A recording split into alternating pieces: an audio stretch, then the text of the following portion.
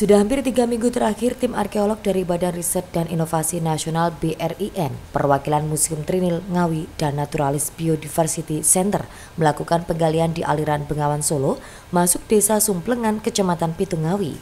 Penggalian atau ekskavasi ini untuk mencari fosil purba yang diduga kuat masih ada.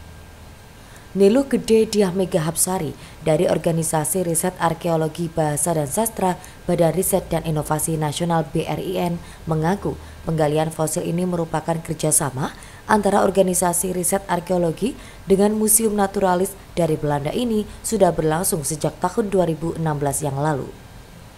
Menurutnya pada tahun 2019 yang lalu melakukan penelitian di sekitaran Museum Trinil di Sungai Bengawan Solo.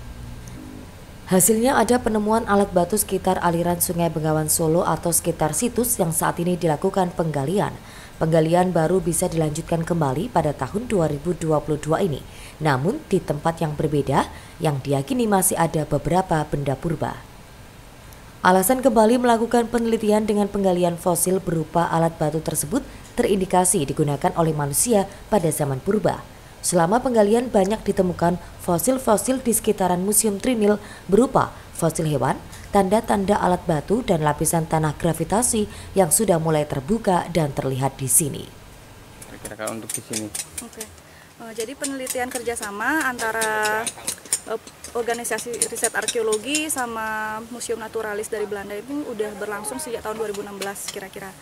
Nah, e, pada tahun 2019 kan kita melakukan penelitian di Trinil, di seberangnya Museum Trinil dan salah satu yang dihasilkan dari hasil survei pada tahun 2019 itu adalah adanya temuan alat batu di e, sekitar sini di sekitar situs ini yang baru ini makanya dari situ kita memutuskan untuk pada tahun ini kita berpindah dari Trinil ke sini untuk membuka e, di sekitar sini hmm. alat batu itu menunjukkan apa mbak? Mm -mm. Kenapa kok menarik untuk digali lebih lanjut?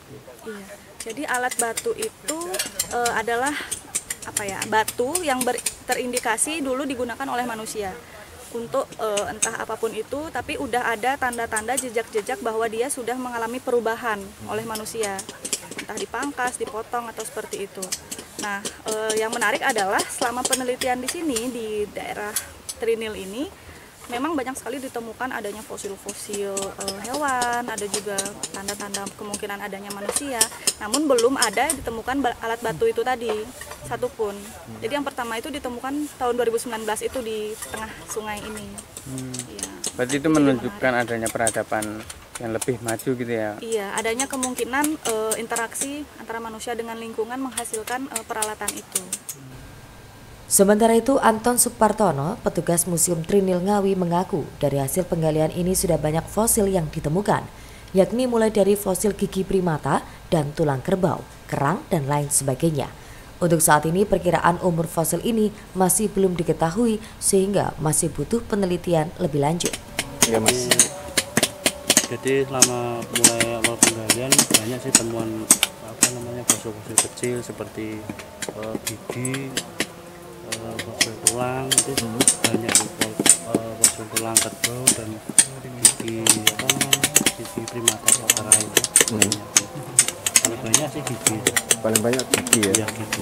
Hmm. kalau ini perkiraan tahun gitu masih bisa gitu belum mas hmm, perkiraan tahun masih belum di oh, identifikasi masih identifikasi ya masih proses identifikasi hmm. untuk uh, pelaksanaan ini sampai kapan terus nanti tahap selanjutnya yang dilakukan apa saja uh, untuk tahap proses penelitian ini izinnya sampai tanggal 21 21 Oktober ini ya, ya. Hmm. kemungkinan di tahun berikutnya juga dilakukan penggalian ya, di tempat yang sama untuk tahun berikutnya juga sini lagi kayaknya soalnya masih ada beberapa yang belum ditemukan atau belum jelas itu pasal apa mungkin kembali lagi ke sini hmm. Dari hasil penelitian dan penggalian ini terhadap sejumlah benda yang ditemukan akan dilakukan uji laboratorium untuk diketahui usia dan jenis bendanya. Harapannya menjadi jurnal ilmiah dan menjadi dasar penelitian selanjutnya. Ito Wahyu, JTV, Ngawi.